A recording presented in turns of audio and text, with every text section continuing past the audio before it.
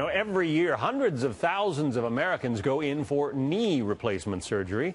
Until now, doctors have had to rely on their expertise, sort of medical guesswork, to make sure that they get the joint in just right.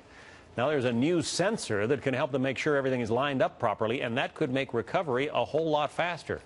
Professor Peter Walker is a research professor at the Department of Orthopedic Surgery at New York University's Langone Medical Center. I am of uh, particularly interested in this in this story because I've had what three ACL replacements. I'm missing some cartilage. I'm probably going to be a candidate for knee replacement one of these days. How does this work? This is obviously the, the model of the human knee, but when this joint needs to go, you've got a new way to, to, to get it in more accurately. That is correct.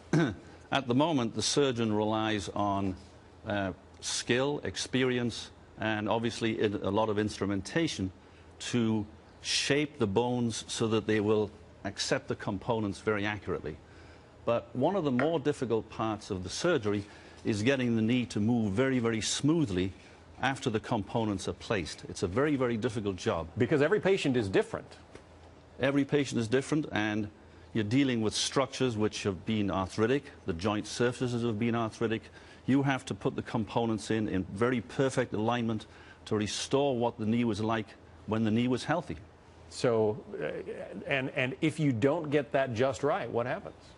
Well, one of the things that can happen is, for example, restricted range of motion. I mean, everybody likes to get at least 120 degrees if possible, even sitting on this chair. We're using 120 degrees. Sometimes the motion can be restricted.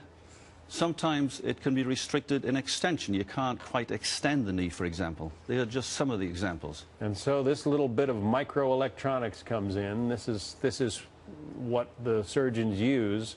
And there are sensors in this? Tell us how it works. Yeah, this, this has microelectronics built into it. What these are really are little force plates. If you can imagine a three-legged stool and they're built into here. Each of the legs has got force sensors.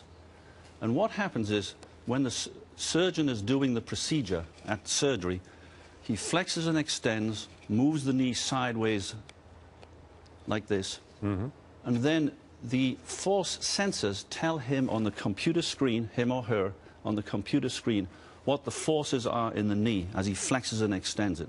The idea is to get the forces exactly equal on both sides of the knee so the knee is perfectly balanced.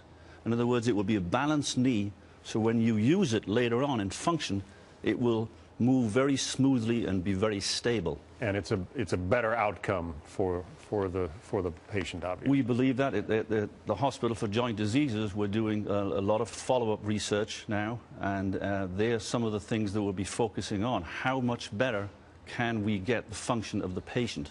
Already the function is very, very good with total knees, as you probably know. That's the good news. The ah. even better news is we think we can make the function even better with, with a device like this. Well, I hope I'm not on your operating table soon, but that's good to know if it, uh, if it comes to that for me. Professor Peter Walker, thank you. It's a pleasure. Thank you.